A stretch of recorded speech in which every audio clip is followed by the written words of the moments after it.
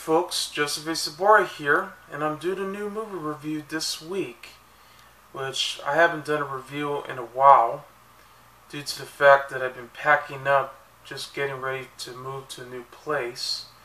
So I figured maybe I can do maybe a, a few movie reviews for a while before it's time. So anyway, I, I did bought the, the new film. Well, not particularly new, actually, but it might as well be. But it's uh, the film that came out in 1991, that was 25 years ago, but it was never released in North America until just recently, even though it did aired 10 years ago, but it was only the subtitle version, and that is called Only Yesterday. A story about a 27 year old woman named Taeko who decided to visit her relatives in the countryside, but she starts to relive um, the past when she was a 10 year old girl during her fifth grade and just trying to relive her childhood memories that she had. And this is a very good uh, Blu-ray release that I just got at Walmart for a very good price of 1996. Has a lot of great features here, which is on the back right here. Yeah. It has uh, the making of Only Yesterday, which is um, a program from 1991 that aired in Japan, where they talk about. Uh, how uh, Hayao Miyazaki team up with uh, director Isao Takahata, you know, the same director who gave us uh, Grave of the Fireflies. Back in 1988, you know, they were teaming up together to, to do the film My Neighbor Totoro, and then later Graves of the Fireflies, yeah, both of which were playing as a double feature, and they all became successful hits in Japan. This is before they brought us here in America, so we get to see them. Yeah, which My Neighbor Totoro was the film that I first saw when I was very young. It also has the behind the scenes of the voice cast, so we get to meet uh, Daisy Ridley, Dev Patel, and Ashley Eckstein. Interviews with the English dub team, which has Ashley Eckstein and and only three people who are the producers and director behind the team, which is basically a, a Q&A screening of the movie after the film had finished. So, but they couldn't get um, Daisy Ridley to join because, of course, she had to do the movie Star Wars: The Force Awakens, so she had a text. And it also includes trailers and TV spots, yeah, which has the English dub trailer, and it has the foreign uh, trailers and TV spots of the movie. So, it even includes uh, feature-length storyboards, so you get to see the entire film as a storyboard. So you, so you experience all the drawings that they had before it was complete. So that was interesting. And I waited for years for this movie to finally get its release since they couldn't get the English dub version. Yeah, it was really hard to find here. And surprisingly enough, though, I first saw this when it aired 10 years ago on TCM. And that was back in January when they're celebrating uh, the month of, of Miyazaki and Ghibli films. I even taped it as well. So this was the only way I could watch this movie. And it's great to see how the movie looks today because it looks very stunning. It looks to me like they really remastered it very well for this year. It almost looks like a brand new film. So it's not really brand new, uh, like I said before. It's it's it's a rather old film that came out 25 years ago.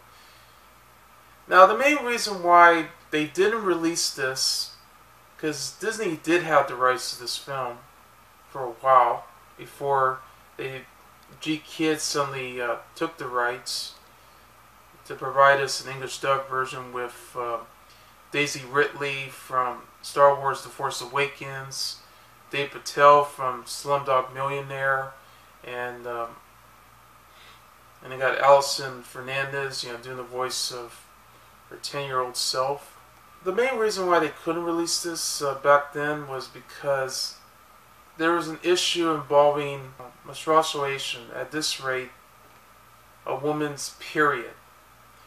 Yes, and apparently in the movie, you know, during her uh, childhood days, you know, they they were mentioning that one of uh, her classmates suddenly had their periods, and yeah, a lot of boys started making fun of them and all that.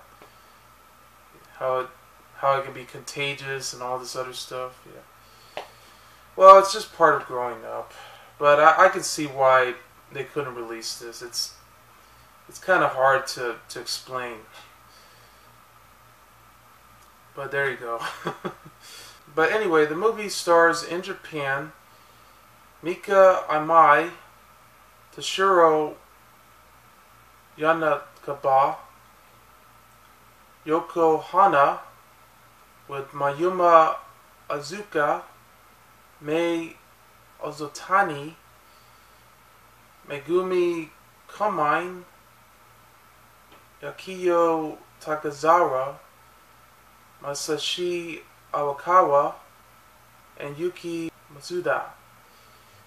But in the English version, it stars Daisy Ridley from Star Wars The Force Awakens, of course, Dev Patel, of course, Slumdog Millionaire, Alison Fernandez, Hope Levy, Stephanie Sheh, Ava Akers, Madeline Rose Yen, Jaden Betts, Janella Fellman, yeah, Ashley Eckstein, Martin Marshall, and Tara Strong. And it's written and directed by Isao Takahata. The movie began set in Tokyo, Japan in 1982 we meet a young 27 year old woman who is unmarried named Taeko, who lives her whole life in the city and works at a company downtown. She decided to take a vacation just to visit her family in the rural countryside in Yamagata, which her brother in law suddenly stays. She begins to recall all her memories, you know, during her childhood days as a 10-year-old schoolgirl, who all this time she begins to experience um, everything she has done you know, during her first time in, in her life. How she first tried a pineapple, which was very good, even though they kind of felt very, uh, very mixed on that. Also, she she first experienced um, a young baseball player. So this was basically her first crush of a boy, even though they started feeling very nervous towards uh, her friends. And of course, she's beginning to experience puberty because that's where we begin to find out that she got her first period.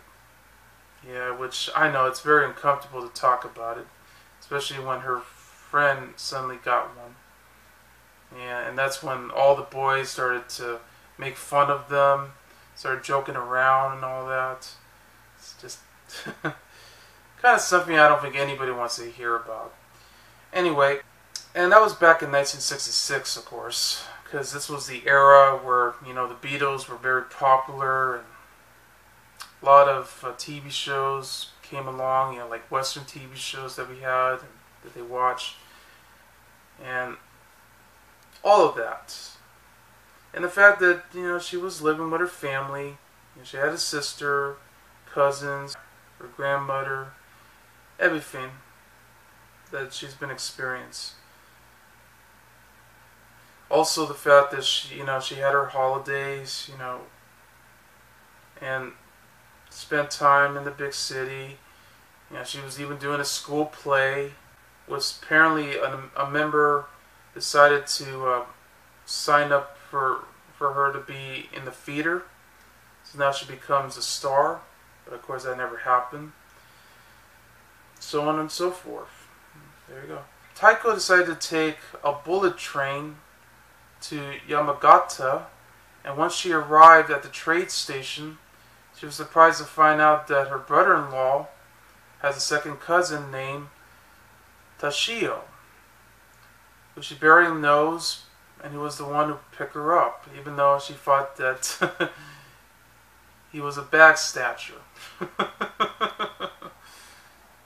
so finally, during her stay at Yamagata, she found herself increasingly nostalgic, you know, trying to relive those memories that she had during her childhood days, of during her first times, of everything that's that's happening in her life, you know, growing up, and she begins to experience all the frustrations that she's been getting with math.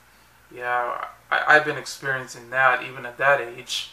You know, everybody had hard times, you know, solving math problems. And of course, boys. So there you go. So basically, that's you know, it's the coming of age story where she begins to relive her past and going through the present, and she begins to ex- explain that to uh, Toshio about how she's been experiencing all of her life. So no matter what she does, she has to face her own true self. Of course, while she was there, she had to help the family, you know, uh, fixing all the crops out there and, you know, just spend more time doing everything. Well, you know, she's spending her whole vacation actually uh, experiencing her imaginations of of all the kids that he had saw when she was young and how like for instance when she met uh, a young man who's just basically living in a poor house he's just going around you know picking his nose and wiping on on his sleeve you know all that snot and he's just always you know not very comfortable with anybody. everybody made fun of him too. there you go. And the fact that uh, Taeko had to sit next to him, it's like, wow. Yeah. A lot of fights that's been going around with the family. You know, they couldn't get along at times, and then sometimes they do. You know, they had issues here Of course, the, the pineapple scene, uh, as I just mentioned earlier, they, they mostly have bananas because it's the king of all fruits. there you go. As far as um, Taeko's concerned, though, she does chose to stay in the countryside for a while, but then, you know, she has to go back, you know, just so she can experience the city life uh, once again before finally she gets a chance to to have a relationship with Toshio and then things get better after that. So that's that's basically what the film's all about and it's a great film. I really enjoyed it. I'm, I'm glad that it finally got its release in the US. It really deserves it. Um, the voice acting for the English dub version was very superb. I mean, it's interesting that Daisy Ridley suddenly disguised her voice by making her sound more American, even though um, Dev Patel, you know, wants up sounding more, you know, British as usual. I guess he couldn't disguise his voice either. But I guess that's okay. But I thought it worked. Nevertheless and also Alison Fernandez doing the voice too, and and all the rest.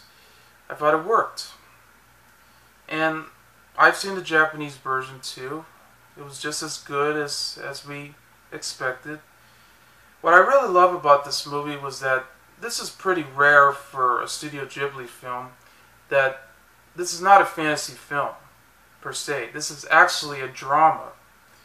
So this is something that we did experience um, in other films that we've seen.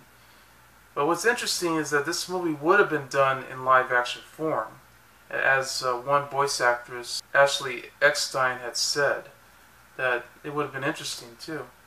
And it's true, I agree. But I thought it worked in, in animation form because you get to see all the other experiences that that you see behind the, the character of Taeko, yeah, the main character. I, I love the, the shots where, you know, you started seeing the Taeko's imagination where when she was a child you get to see all the kids running around while you could see her 27 year old self. Uh, but that was at the end of the movie, of course, when she was riding on the train and, and suddenly you see her running around with her and, and later Toshio. They also did a similar scene too uh, before she wants up in the, the countryside where she was in the train and suddenly you see uh, her 10 year old self on the other corner and then when the train starts to pass by you start seeing all of her um, classmates uh, running around perfectly good shot right there yeah. has a wonderful score that's uh, done by Katz Hoshi yeah in fact they even had um, a great soundtrack they even did uh, a Japanese uh, version of the song The Rose, which is by Amanda McBroom. Apparently, this was um, a Japanese version of the Bette Midler song that was from the movie, in 1979. So, I, yeah, that was at the end of the movie, of course, that you know where they had that scene. Really good. Uh, the animation was very stunning too. I mean, I, I love the shots that just makes it look so realistic in a way. I mean, especially seeing the, the imagination of Taeko, you know, flying around. Uh, you know, when after you know she just met the boy, where the boy was like telling her, "Do you like uh, sunny days, rainy days, or cloudy days?" And yeah, she says, "Cloudy days." There you go. she was in love. And by the way, um, the shots of the uh, the safflowers, though, it just looks very stunning. I mean, especially when he had to take all the petals out and they, they put inside the machine where it creates that uh, sort of like one of those. Uh, it almost looks like a red Cheeto. so yeah, they had to use it so they can make it into um, into uh, colored dyes. You know, so they can dye their their shirts and cloths all the clothes out there, and then they even can create a um, one of those um, pans that they had, so they put all all of them in dots. All of that, it just looks um, very natural. Also, they, they even have the facial expressions um, in the movie too that definitely look more realistic. You know, when you start seeing their cheekbones as they move, I mean, once you experience uh, Taeko and and and uh, Toshio and all, all the other characters, I mean, you can see their facial expressions that they really make once they once they have their mouth movements and all that. Yeah, it was interesting because usually in Studio Ghibli films you don't often see that, but this was probably the first to ever show that expression. So I thought, wow, they really captured that spirit. So that's that's cool. And by the way, it was a box office hit in Japan. I don't know how it did okay in the U.S., but it had only had a limited release, so it probably just made its profit. But it's great to see that GKIDS uh, finally had a chance to release this, you know, after you know Disney had the rights for, for all the Studio Ghibli films out there. Yeah. And it's great that I finally own this movie after after that TCM recording that I had 10 years ago uh, when I was watching it. Yeah, just as good as I remembered it. Yeah, it really is. So, definitely check out Only Yesterday. Pick this up on Blu-ray or, or DVD or whatever. And definitely experience this movie for yourself because this movie will definitely change your life, no matter what. so anyway, That's only yesterday. And I give that film five stars. I'm Joseph A. Sobora, and I'll see you later. Bye.